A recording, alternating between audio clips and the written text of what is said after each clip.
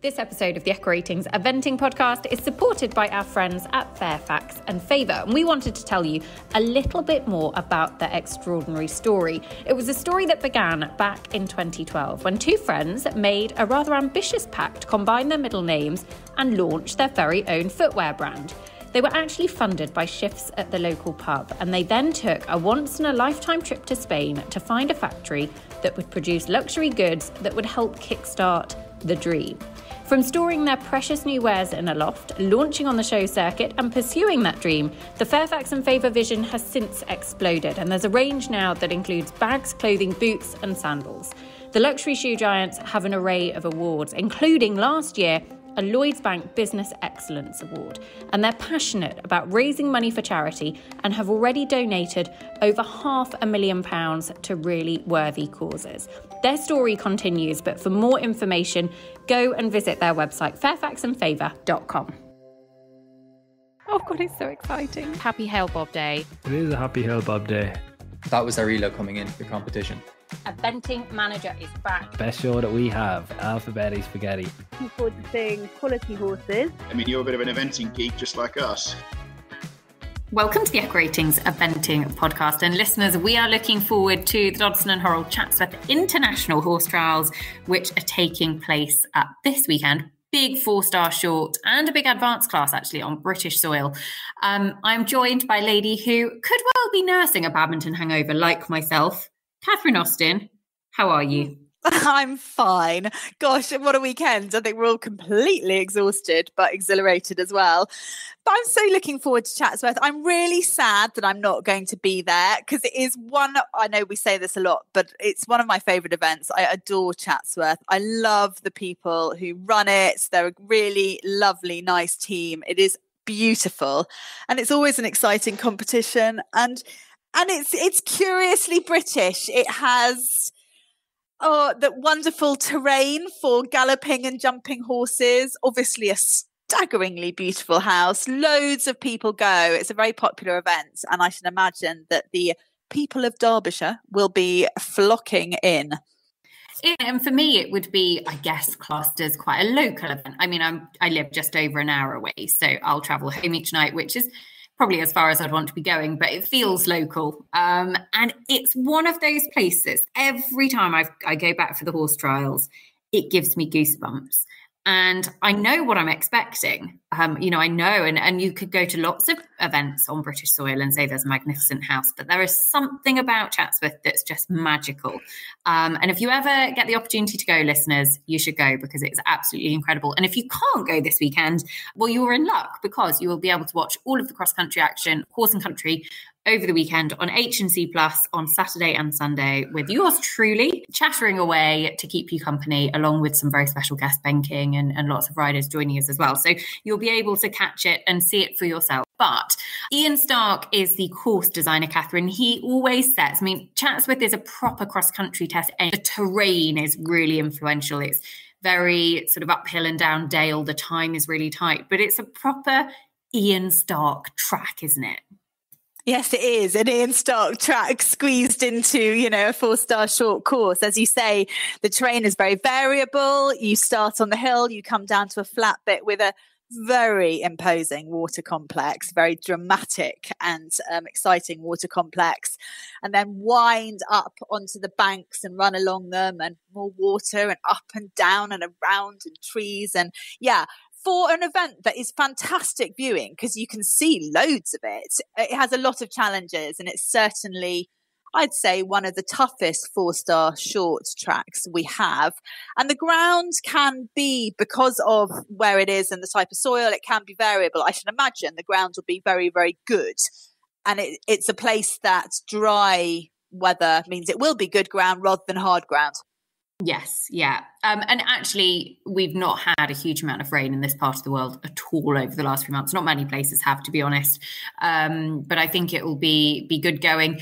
It's as we've said, a proper proper time test. There's been some real variance in the years in which people have made the time. When the Event Rider Masters legs started running at Chatsworth, all of a sudden it became pretty achievable on the basis that, and by achievable, I mean in comparison to the fact that I think one person had made it in like nearly a thousand horses that had attempted it or something mental.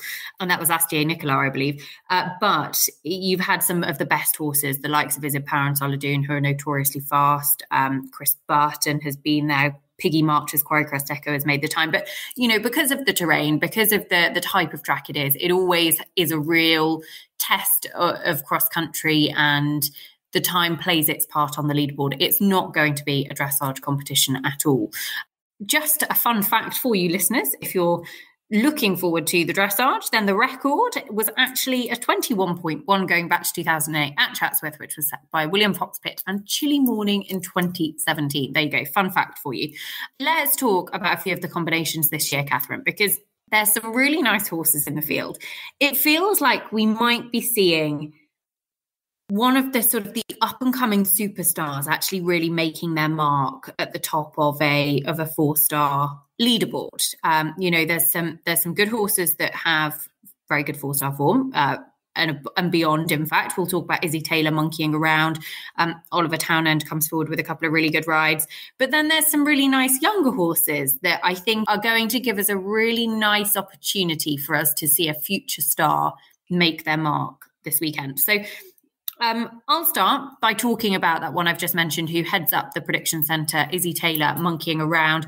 Who, I mean, he he's a brilliant horse. He's been top ten at the European Championships last year. He has all of the ability in the world. He's a winner at this level previously. He's been placed numerous times. That he had got past his name slightly over the last couple of seasons because he has become a lot more reliable. But he has sort of reverted to form a little bit earlier on this year. Um, he had a really naughty 20 penalties early on at Burnham Market at a fairly innocuous pair of angled brushes. And so monkeying around has been a bit of a monkey so far this year, and they would have to turn that around here. I think she ought to rename him. Maybe. I then- mean, the name I called him at Burnham Market was not listener consumption, Catherine. Um, and I imagine Izzy's name then wasn't either. No, Very and I think I just start again, rename him something like I don't know, straight and perfect. I don't know. We can have maybe we should have a competition she can rename him so he can live up to a new name. But of course, it's frustrating, isn't it? Because he's hugely talented, and one imagines that he will lead the dressage here. Let's hope that they continue from there. Yeah, absolutely. Um, you know, he's very, very talented in the first phase. I mean, he could actually challenge the the dressage record of William Fox-Pitt Chilly Morning, who are 21.1. Um, he scored a 22.9 last time out at Burnham Market internationally. He's an 11 year old now. Let's be honest. Look forward to watching him particularly in the cross country, there's no better jockey on board. So Izzy will just hope that he is um, back on side, shall we say. Let's talk about a few of the the others. Oliver Townend has two, and very near the top of the prediction centre, I should say, Izzy Taylor monkeying around leads with a 22% win chance. Then there's two Oliver Townend rides, Tregilder and Dreamliner, actually, who was a Burnham Market winner. And he's got Lucas in there as well, Catherine, who is a really exciting horse for him. Yes, it'll be interesting. Three, three very capable horses. Uh, Tregilder has won at this level before.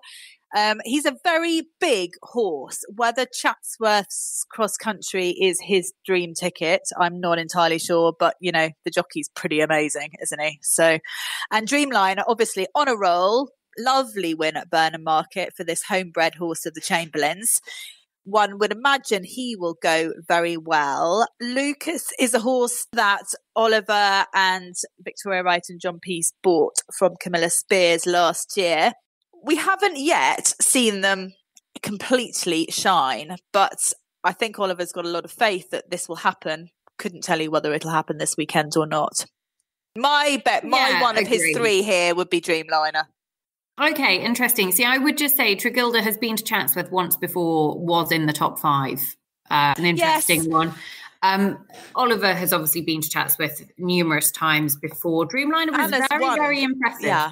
To be fair, at uh, Burnham Market. Yeah, he was, um, and I'm not. I'm not knocking Tregilder. I just think he's such a big horse that uh, piloting him round here, there might be there might be easier places to let him run and jump and gallop than here.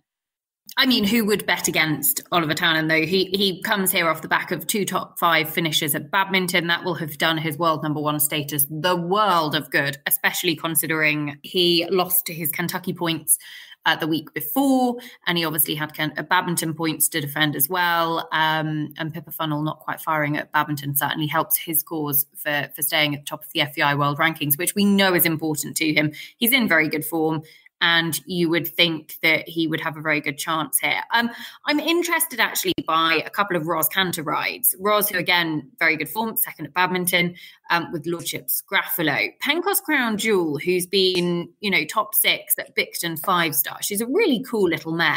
She's actually on the market. Um, that's publicly yeah. available. She's for yeah. sale and owned by the Macon family. And and she's actually come back to Ros. My guess is that um, she's ready for a run, and we haven't, you know, she hasn't been sold as yet. So it's exciting to see her come out. A little bit of an unknown quantity. I wouldn't quite be, you know, betting my house on what her plans would be. My eye, I'll be honest, is more caught by Rosa's other ride. Yes. In Izilot DHI, who was very, very close to being at the top of the table for the Blenheim nine year old class last year. Actually, had um, a, a sort of a fairly inexperienced mistake cross country, but he's unbelievably talented. Um, Has won a lot on his way up to this level. Yeah. Yeah, won a huge amount and actually has has really impressed at the three star level and obviously stepped up to four star for the first time at, at Blenheim. And he was very, very good. You know, he did a 26.6 dressage, jumped very, very good clear show, jumping around over a very tough track um, in thick fog at Blenheim last year, um, just for a few time penalties. And it was a shame he had 20 penalties. He'll have learned a lot from it. I'm excited to see him make a, another step up here. Yes, and I wouldn't you know, young horse to be allowed to make mistakes and learn from them, don't they? And that's sort of exactly. one of the points of, of that class. I, I shouldn't be in the slightest bit worried about this. I mean, Ros rode like, you know, as did Oliver and did all of those brilliant Brits in the top 10 at badminton last weekend. She rode quite superbly. She's a joy to watch. Yes, this this horse would god I, I don't know what I say is going to win but it's um it, it's super and it'll be up there we haven't got there yet. I'm gonna. I'm going to I'll put you on the spot in just a second, uh, Catherine. But first of all, who else stands out for you of those ones to watch?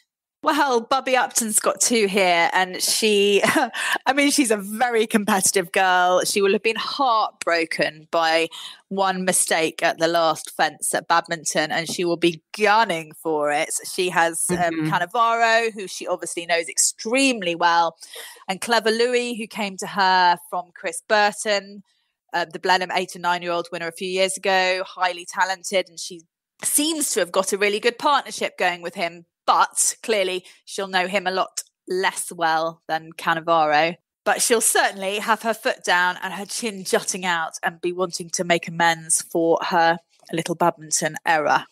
I mean, heartbreaking, but still a lot to look forward to in the future. And she's she's got the Cannavaro and Clever Louis are, are both in the top six on the prediction centre, but you don't have to look a million miles further down for Magic Roundabout, and also Jefferson 18, who she rides. I'm pretty certain she had him at Burnham Market in the advance. And I have a feeling it's her first four star with the horse. So I'll double check that for you listeners. But, you know, she's got a real indication, bearing in mind she's just been to, it is her first four star with Jefferson.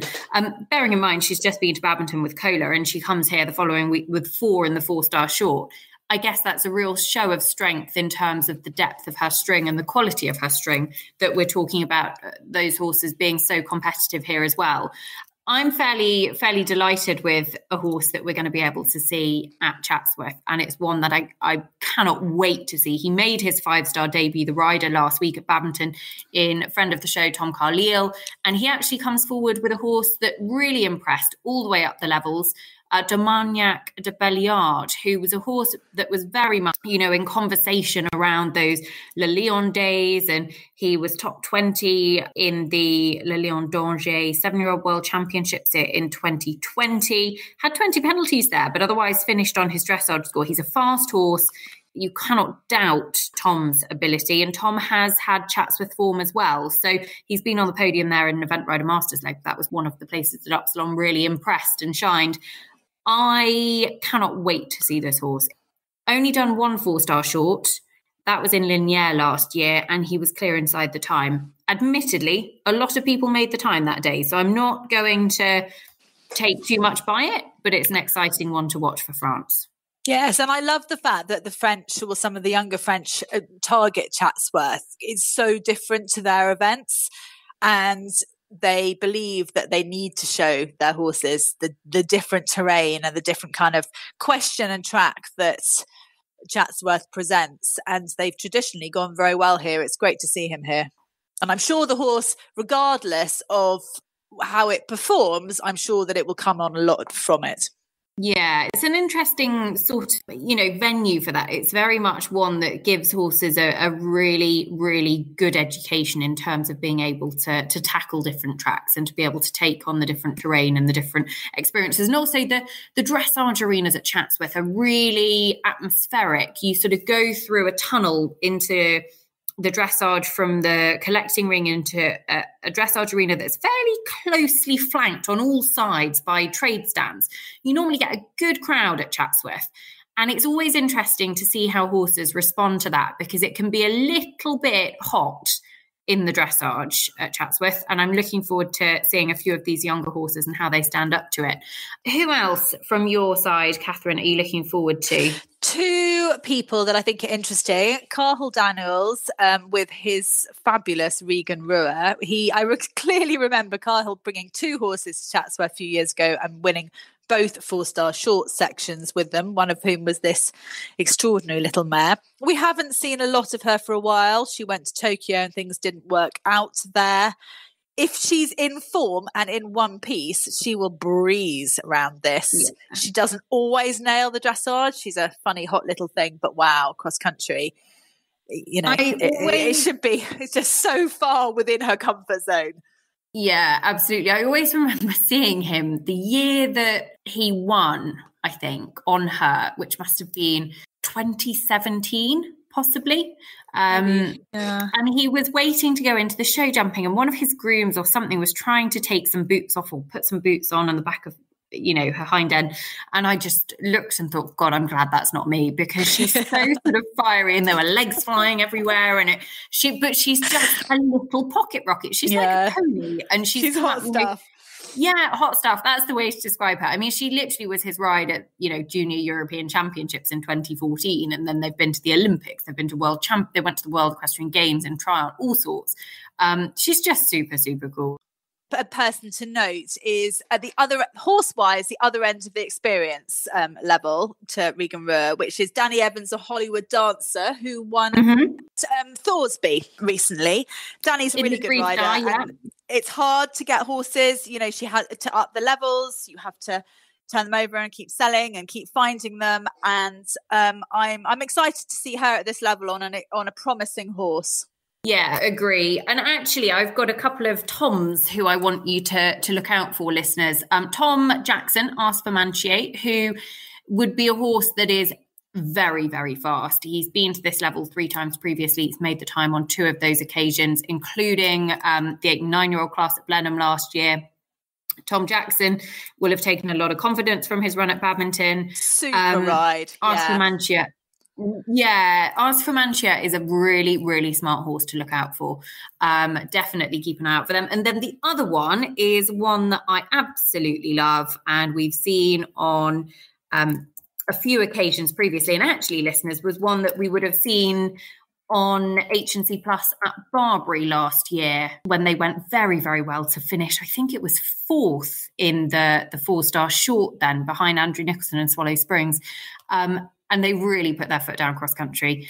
And it's Tom Rowland Quintilius who has been to short level six times, not made the time, but could certainly put in a very, very quick performance. Has is is not one afraid of putting his foot down. You know, there's been a few sort of single figure time penalties. He had 1.23 seconds over at Blenheim last year. Um, he went very well at Buccolo, was five seconds over the time there to finish just outside the top 10. Really smart horse. And Tom's a really decent jockey as well. Will Rawlin and the partner, they went very, very well at the early part of this spring, would certainly be ones to look out for.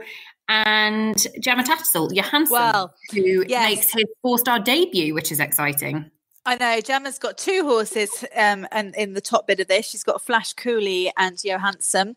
And Gemma will have really minded not being at Badminton last week, and she will definitely want to remind us that she was the Bicton five star winner last autumn. But these two horses have gone really well this spring. I think she'll be very competitive. Okay, Catherine, who wins Chatsworth? Ooh. Okay. I think that Bubby Upton and Cannavaro are going to win. I think that Oliver Townend and Dreamliner are going to finish second. oh, and I think that Yasmin Ingham and Rehy DJ, who we have totally failed to mention, are going to finish third. I mean, you could shake the hat and a lot of combinations could come out there, but let's go with that for for now. Okay, I will just, I mean, Gemma Tattersall, you mentioned she is a former winner actually here. She won um, 2017. Just looking at past winners of Chatsworth. So, Quarry Crest Echo Piggy March, Senior Medicott, Bettina Hoy, Samurai Dutot won it um, with Yes. Julia Krajewski back in And the last well. Masters one. Mm. Um, Piaf de B'Neville, Astier Nicolas, his Olympic ride, he won the first ever ERM, which was one of the strongest four star short fields we have seen in history. It was just incredible. Um, Tom McEwen, Andrew Nicholson's won it a few times. London 52, Laura Collett, also another to have won it. Um, Have we heard of them? Who are they? I mean, you know, they've done all right in the last Yeah. few weeks. They might, they might be, you know, flagging, flagging up on your radars. Um, Sam Griffiths, Happy Times, uh, Oliver Townend Ulysses. I think there's been some brilliant horses, but there's also been a few horses that have popped out that actually are the real sort of true gritty cross country machines. Um, Shabrack, Lucy McCarthy was Lucy Wiegersma, won it back in 2011. Um, Emily Baldwin, Drive Time, Ben Along Time, Clayton Fredericks. Basically, some very, very, very good horses. I'm going to say that I think I agree with you that Bubby Upton wins it with Cannavaro. Um, in fact, no, I'm going to say I'm, I'm going to go against the form. Monkeying around is going to not be a monkey. He is going to be a good boy and he will win it for Izzy Taylor. Then it'll be Bubby Upton and Cannavaro. And then I'm going to say that we would see Tom Carlile, D'Armagnac, de Belliard on the podium. They're my three. Um, if I'm going to give you a dark horse to finish inside the top 10, then my dark horse would be Tom Jackson, Ask for Manchier to, to look out for. Um, I just have to mention while we're here the very the high quality advance there, which where we see one of my favourite combinations, Emily Chandler and Gortfada Diamond. Excellent pairing. Out again for the season. I mean, there are lots of them, but I wanted to mention them because they're always really classy and will, yeah, they're just, they're good people to watch. If you want to watch someone ride well cross country, watch Emily on this horse. I think that's an important note, actually, and I'll be interested to see, you know, a few of these advanced combinations. I th- certainly think we'll see it with monkeying around Izzy Taylor. You know, they could well be Luhmühlen bound, and this is very much one of their last sort of chances to have a, good competitive run before they go to Luhmühlen. Heidi Coy, who's had a couple of weeks on the sidelines, actually has hers in the advanced as well. She broke her collarbone in a fall at Burnham Market this spring, so good to see her back. And Angus Smales and his Bicton five star horse, ESI Phoenix. Yeah, absolutely. There's a few of them actually, and there's a few that actually didn't go to badminton that perhaps had a little bump in their plans and maybe they've rerouted. Um, Zara to, to be class to, affair. but you see a lot Yep. of yeah Zara Tindall class affair um, you see a lot of uh, either Bramham bound horses or Luhmühlen bound horses in the four star and the advanced and I think you could look at both of those classes for a very very good indication of ones to watch um, I would just put a, a shout out for Polly Stockton and Chico in the advanced former Intermediate. intermediate national champion Yep. Last year, and they could definitely go well. Um, and if you're watching the live stream, uh, look out for Georgie Fro's Maximilian, who is just the coolest horse, um, trundling round and advanced. He wouldn't be built for the Chatsworth Hills. I don't think Georgie would mind me saying that, but he's just the most honest, cool campaigner that you would find. So look out for them. We're in the thick of it now, aren't we? You know, it's just oh, yeah. it, it, just feels like they keep on coming. And we've got Pratoni this weekend as well. Yes. The preview show for Pratoni listeners is out now. Can it be a happy Hail Bob day? Watch this space. Will it be a happy Hail Bob day? I should say. Um, Ingrid Klimke topping the prediction centre there, but some very, very good horses, including um, Tim Price's Pau five star winner Falco is back. So good to see them. Can't wait. We're into the thick of it, as Catherine says, and lots to look forward to. It has been a pleasure as always. And listeners, thank you guys for tuning in. We hope that you are uh, sort of enjoying the absolute deluge of podcasts that are coming your way. Thank you for sticking with us. Tell your friends. Please, please tell your friends. I cannot actually tell you how grateful we are. We have been overwhelmed by the amount of downloads and comments and messages that we have had, particularly over the last couple of weeks with Kentucky and with badminton, and it really does make all the difference. Um, so if I set you a little piece of homework, tell one friend about the eventing podcast. Just tell one friend that might not listen. And you I had my drives to and fro to badminton. I got time to catch up on some podcasts, which um, was fun, and I really enjoyed your interview with Edie Campbell. And she's here with Fireball F.